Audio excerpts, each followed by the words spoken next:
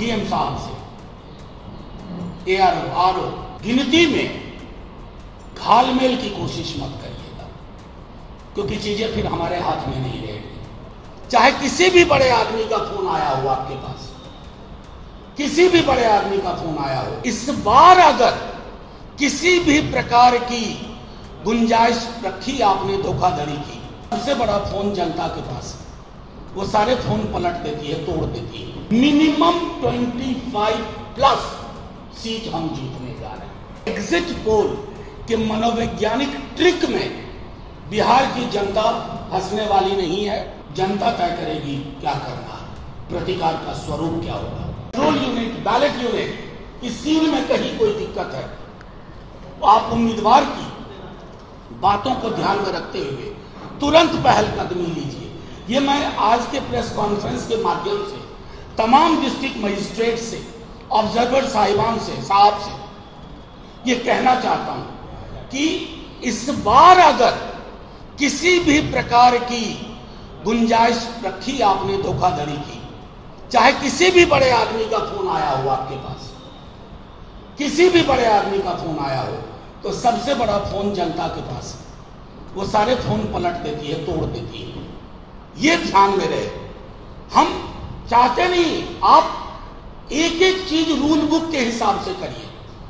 कानून की किताब में इलेक्शन मैनुअल में 1961 की जो प्रावधान है, उसके आलोक में आप एक एक चीज़, चाहे 17 सी का हो काउंटिंग के हर चरण का मामला हो, या 17 सी में, जैसे अब डिस्प्ले में आ गया कि इसको 400 वोट ए को बी को 320 वोट सी को 80 वोट डी को 40 वोट, ये जब तक लोग नोट ना कर लें काउंटिंग एजेंट और संतुष्टि के साथ नोट ना कर ले।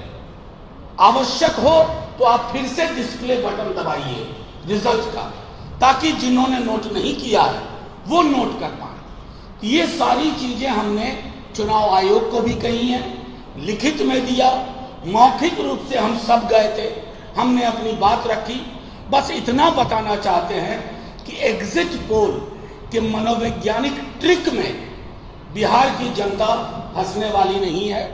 हमने जनता का सर्वे देखा है, तेजस्वी यादव का बिहार में कैंपेन देखा है। एक तरफ़ नौकरी, गैस सिलेंडर पाँच सौ रुपए, महिलाओं को एक लाख रुपए, सेना की पूर्ववर्ती बहाली, रेलवे की नियुक्तियाँ दूसरी तरफ़ भैंस खोल लेगा, मंगलसूत्र छीन लेगा, बिजलिया काट देगा, टोटी तोड़ लेगा, मुजरा करेगा।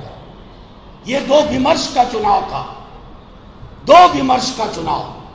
और बिहार की जेपी कर्पूरी वाली जनता, तेजस्वी यादव के नेतृत्व में, जो पूरे महागठबंधन ने, लेफ़्ट पार्टीज़ ने, वीआईपी ने, कांग्रेस ने, आरजेडी ने, जो कैंपेन लॉन्च किया, उस कैंपेन के आधार पर मिनिमम, हमारे साथी शक्ति जी तो आगे, मिनिमम 25 प्लस सीट हम जीतने जा रहे हैं। और ये आपको कल दोपहर तक पता चल जाएगा। ये भी पता चल जाएगा, आप देख रहे हैं कि कुछ चैनल्स अपने एग्जिट पोल के आंकड़े को एक दिन के बाद एडजस्ट कर रहे हैं। ये एडजस्टमेंट क्यों हो रहा है? वो धीरे धीरे हो सकता है शाम तक और एडजस्ट और कल तो पूरा एडजस्ट हो जाएगा। जब आंकड़े आ जाएँगे। इस तीन दिन में जिसको पैसे कमाने थे कमा चुका, जिनको गंवाने थे गंवा चुका, और पीएमओ तीन दिन तक प्रसन्न रहे। आखिर में फिर यही कहूँगा आपके माध्यम से, तमाम जो लोग, जो काउंटिंग के रिस्पॉन्सिबल अथॉरिटी हैं, जो रिटर्निंग रिटर्निंग ऑफिसर हैं ऑब्जर्वर्स हैं, उन सबसे ए हैं, उन सबसे आग्रह है। कल सुप्रीम कोर्ट इलेक्शन कमीशन का वो भी आ गया। कई जगह शिकायत मिल रही थी कि आर ओ आर ओ के टेबल पर काउंटिंग एजेंट नहीं देंगे। हमने वो लड़ाई भी जीती हर जगह काउंटिंग एजेंट होगा। हर जगह। और जब तक संतुष्ट ना हो जाए गिनती को, तब तक बात आगे नहीं बढ़ेगी।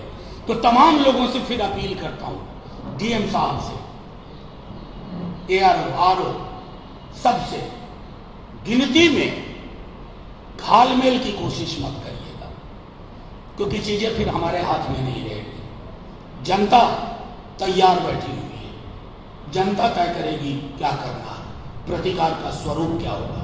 शुक्रिया, जय हिंद।